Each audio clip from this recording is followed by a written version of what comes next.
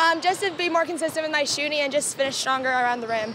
When you take a look at what you did last year as a team, of course, an incredible run to Gainbridge Fieldhouse. Uh, you had a big part in that. Um, when you have time to look back on just everything you accomplished, what do you just take the most pride in? Um, I would just say just like being in the moment and just enjoying every moment and just being together with my teammates. You are now going to be one of those go-to scorers. No more Kennedy, no more McKenzie. Yeah. How are you embracing that leadership role for this season? Like I already said, just kind of cherish the moment and just do the best that I can.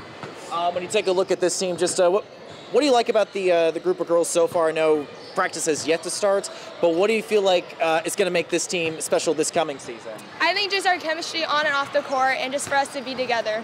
Awesome. Simple enough. Anything else you want to add, Vanessa? Um, go Norwell.